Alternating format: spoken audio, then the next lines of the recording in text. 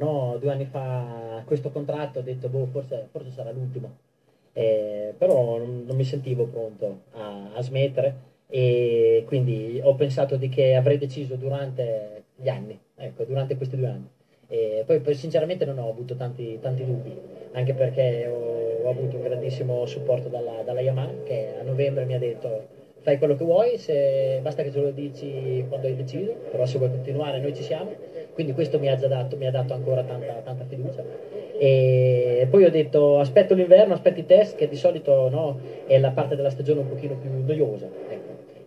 a marzo però, dopo l'ultimo test mi sentivo in forma, quindi ho detto va bene, fermiamo. Senti Valentino, nella tua scelta di queste tre cose, quale ha pesato di più? Il fatto che ti diverti ancora, il fatto che stai bene, sei in forma fisicamente, oppure magari la voglia, l'obiettivo di raggiungere il decimo? Ma tutti e tre, tutti e tre uguali, tutti e tre uguali e, e ehm, soprattutto le motivazioni, la, la, motivazione, il gusto di fare comunque, di guidare la moto, di lavorare col mio team, di fare questo tipo di vita che, che mi piace e quindi di cercare di continuare. Il nostro primo obiettivo è cercare di, fare, di far tornare a vincere la, la Yamaha e secondo me le, la situazione è piuttosto chiara, nel senso che ci sono delle, delle aree dove dobbiamo, dove dobbiamo lavorare e quindi speriamo di fare presto.